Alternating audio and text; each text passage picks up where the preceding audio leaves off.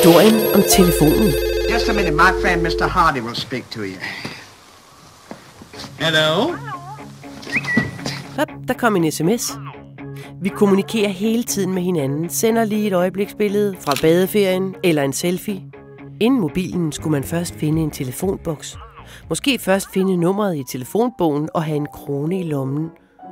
Så måtte man jo håbe, at den, man skulle ringe til, var hjemme. Ellers måtte man ringe igen. Førhen sendte man et brev, hvis man skulle i kontakt med en, ja, eller et sendebud. Men inden beskeden nåede frem, var nyheden bare allerede blevet gammel. Indianerne brugte røgsignaler. Det var lidt smart. Så fik man nyheden med det samme. Før man opfandt telefonen, fandt man på telegrafen. Vi skriver ca. 1830. Man havde fundet ud af, at elektrisk strøm gennem en ledning kunne få en magnetnål til at lave udslag, selv over store afstande. Så kunne man pludselig sende et telegram afsted. Så blev der ellers hængt ledninger op. Selv over Atlanterhavet blev der lagt et kabel. Samuel Morse opfandt et slags sprog. Måske har du hørt om om Morse. Da man senere fandt ud af at telegrafere med radiosignaler i stedet for ledninger, var der pludselig mulighed for at få hjælp på havet. Kender du SOS Morsekoden? Titanic. Takket være den her nye teknik vidste skibene i nærheden, at de var i nød og samlede 700 mennesker op for redningsbådene. Men så kom telefonen i 1870'erne. Tele er græsk, det betyder fjern. Fon betyder lyd. Et apparat til overføring af lyd. Is that you, Stan? Har du prøvet den helt enkle version? En stram tråd og to dåser? Det handler jo om lydbølger. Hvem opfandt så egentlig telefonen? Så der var mange, der samtidig arbejdede på den her idé, og hver især har de været med til at udvikle telefonen. Det var vist lidt af et kapløb, og i mange år fik opfinderen Alexander Graham Bell æren og berømmelsen, fordi han var den, der nåede at få patentet på den før de andre. Det vil sige papir på, at det var ham, der var dens opfinder.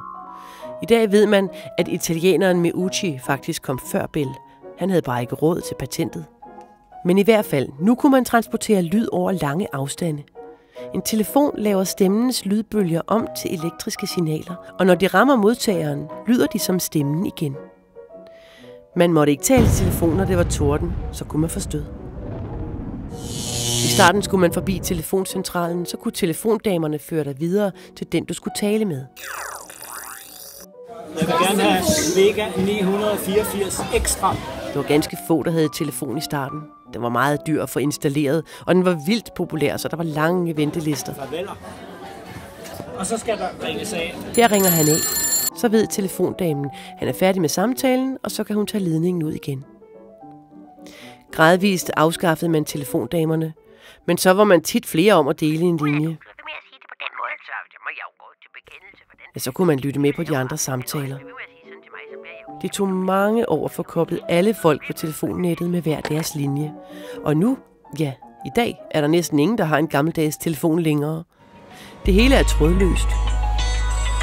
De allerførste mobiltelefoner kom 100 år efter Meucci og Bells telefoner i 1970'erne. Kæmpe store. Kostede en herregård. Ah, er det ikke lidt dårlig stil at tale telefon, når man er til middag? Og hvad laver I to? Telefonfis? Ah, må man ikke. Telefonen er en fantastisk opfindelse. Hvordan må telefonen se ud i fremtiden? Bliver den endnu mindre? Telefonen fylder ikke ret meget i dag. Til gengæld bruger vi bjerge af smartphones, og vi smider lige så mange ud. Husk, at telefonen skal på genbrugspladsen.